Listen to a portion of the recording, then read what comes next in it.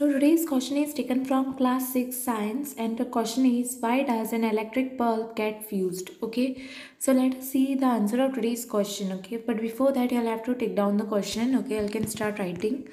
Uh, these are the only notes from uh, class 6 science. Okay, so I'll write down the question why does an electric bulb get fused? Answer is Sometimes an electric bulb does not glow even if it is connected to the cell.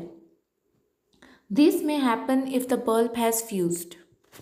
An electric bulb may fuse due to many reasons. One reason for a bulb to fuse is a break in its filament.